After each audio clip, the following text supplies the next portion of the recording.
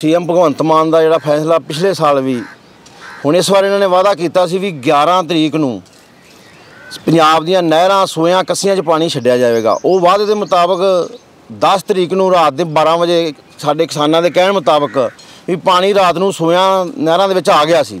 ਸੋ ਇਸ ਵਾਸਤੇ ਪੰਜਾਬ ਦੇ ਸੀਐਮ ਦਾ ਅਸੀਂ ਬਹੁਤ ਬਹੁਤ ਧੰਨਵਾਦ ਕਰਦੇ ਹਾਂ। ਦੂਜੇ ਨੰਬਰ ਤੇ ਜਿਹੜਾ ਇਹ ਫੈਸਲਾ ਪਿਛਲੀਆਂ ਸਰਕਾਰਾਂ ਨੇ ਨਹੀਂ ਲਿਆ, ਜੇ ਪਹਿਲਾਂ ਅੱਜ ਤੋਂ 20 ਸਾਲੇ ਫੈਸਲਾ ਲਿਆ ਹੁੰਦਾ ਜੀ, ਪੰਜਾਬ ਹੁਣ ਸਾਡੀ ਧਰਤੀ ਬੰਜਰ ਬਣਦੀ ਜਾ ਰਹੀ ਹੈ। ਤਾਂ ਇਹ ਜਿਹੜਾ ਇੰਨਾ ਪਾਣੀ ਅਸੀਂ ਟਿਊਬਲਾਂ ਰਾਹੀਂ 14 ਲੱਖ ਟਿਊਬਲ ਪੰਜਾਬ ਦੇ ਵਿੱਚ ਜਿਹੜਾ ਚੱਲ ਰਿਹਾ ਹੈ।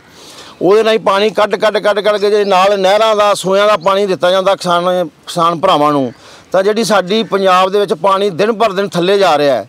ਜਿਹੜਾ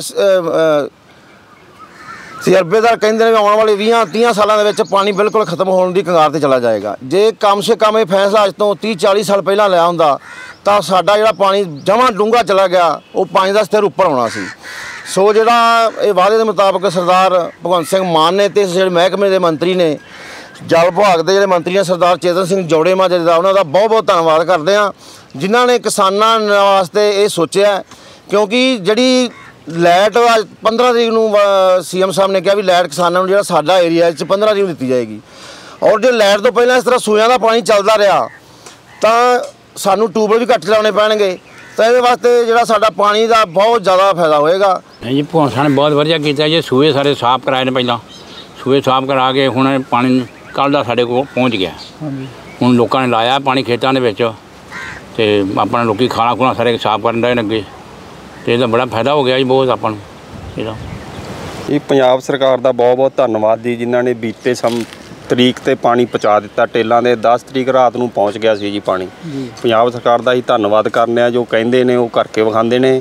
ਸਾਡੇ ਹੁਣ ਖੇਤਾਂ ਨੂੰ ਪਾਣੀ ਲੱਗਾ ਤੁਸੀਂ ਨਿਗਾਹ ਮਾਰ ਲਓ ਜੀ ਕੱਸੀਆਂ ਨਾਲੀਆਂ ਚੱਲ ਰਹੀਆਂ ਨੇ ਜੀ। ਪੰਜਾਬ ਸਰਕਾਰ ਦਾ ਬਹੁਤ ਬਹੁਤ ਧੰਨਵਾਦ ਜੀ। ਪਹਿਲਾਂ ਸਮੱਸਿਆ ਸੀ ਕਦੀ ਯਾਨੀ ਪ੍ਰੋਪਰ ਇਹਨਾਂ ਕੋਲ ਟਾਈਮ ਟੇਬਲ ਨਹੀਂ ਸੀ ਹੈਗਾ। ਕਦੀ 15 ਨੂੰ ਛੱਡਤਾ ਕਦੀ 20 ਨੂੰ ਛੱਡਤਾ ਕਦੀ ਬੰਦੀ ਆ ਗਈ। ਯਾਨੀ ਜਦੋਂ ਦੀ ਪੰਜਾਬ ਸਰਕਾਰ ਆਈ ਏ ਇਹਨੇ ਜੋ ਕਿਹਾ ਹੈ ਉਹ ਕੀਤਾ ਜੇ। 10 ਤਰੀਕ ਨੂੰ ਕਿਹਾ ਸੀ ਤੇ 10 ਤਰੀਕਾਂ ਨੂੰ ਸਾਡੀਆਂ ਖੇਤਾਂ 'ਚ ਪਾਣੀ ਪਹੁੰਚ ਗਿਆ ਜੀ। ਫਾਇਦਾ ਬਹੁਤ ਜ਼ਿਆਦਾ ਜੇ। ਆਪਣਾ ਜਿਹੜਾ ਥੱਲੇ ਵਾਲਾ ਪਾਣੀ ਉਹਦੀ ਬਚਤ ਹੋ ਜਾਏਗੀ। ਸਰਕਾਰਾਂ ਪਿਛਲੀਆਂ ਨੇ ਗੌਰ ਨਹੀਂ ਕੀਤੀ ਇਹ ਚੀਜ਼ਾਂ ਬਾਰੇ। ਆਉਣ ਵਾਲੇ ਟਾਈਮ 'ਚ ਅਸੀਂ ਪਾਣੀ ਨੂੰ ਵੀ ਤਰਸਾਂਗੇ ਪੀਣ ਵਾਲੇ ਨੂੰ।